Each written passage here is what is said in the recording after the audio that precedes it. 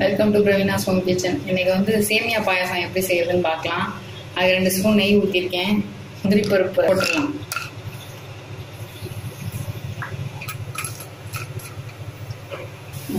முந்திரி பருப்பு பா பாதி ஃப்ரை ஆகிட்டு இருக்கும்போது கிறிஸ்மஸ் பழம் போட்டலாம் கிறிஸ்மஸ் பழம் முன்னாடியே போட்டிங்கன்னா கரைஞ்சிடும் கரைஞ்சிரும். அதனால போடுங்க. இந்த கிறிஸ்மஸ் பழம் அப்படி இந்த பலூன் மாதிரி ஊதிச்சு பாருங்க. இப்போ இதை எடுத்துடலாம்.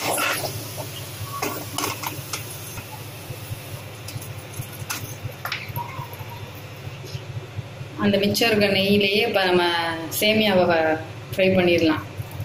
நான் நூறு கிராம் சேமியா எடுத்திருக்கேன்.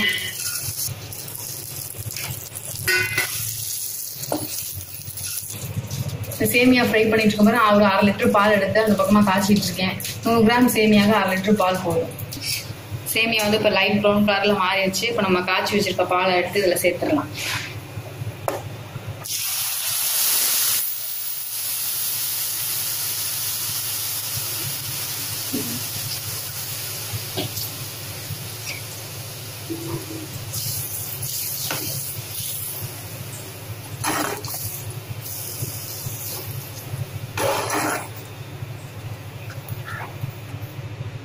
சேமியா பாயசம் வந்து ஆறவும் கெட்டியாயிரும். உங்களுக்கு தண்ணியாக வேணுன்றவங்க பாலை காய்ச்சி வச்சுக்கோங்க. அப்புறமா கெட்டியாகும்போது கொஞ்சம் பால் சேர்த்துக்கலாம். நான் இரநூறு கிராம் சர்க்கரை எடுத்திருக்கேன். இப்போ அதையும் சேர்த்துடலாம்.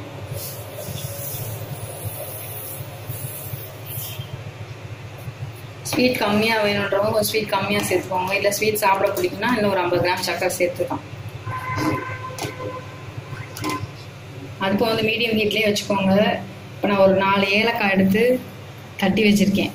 அதையும் போட்டுடலாம்.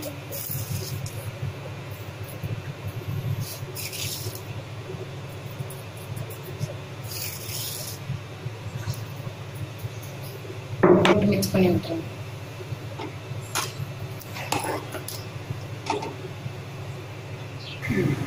சேமியா வெந்துருச்சு. இப்போ நம்ம நெய்யில் வறுத்து வச்சிருக்க முந்திரி பருப்பும் திராட்சையும் சேர்த்துடலாம்.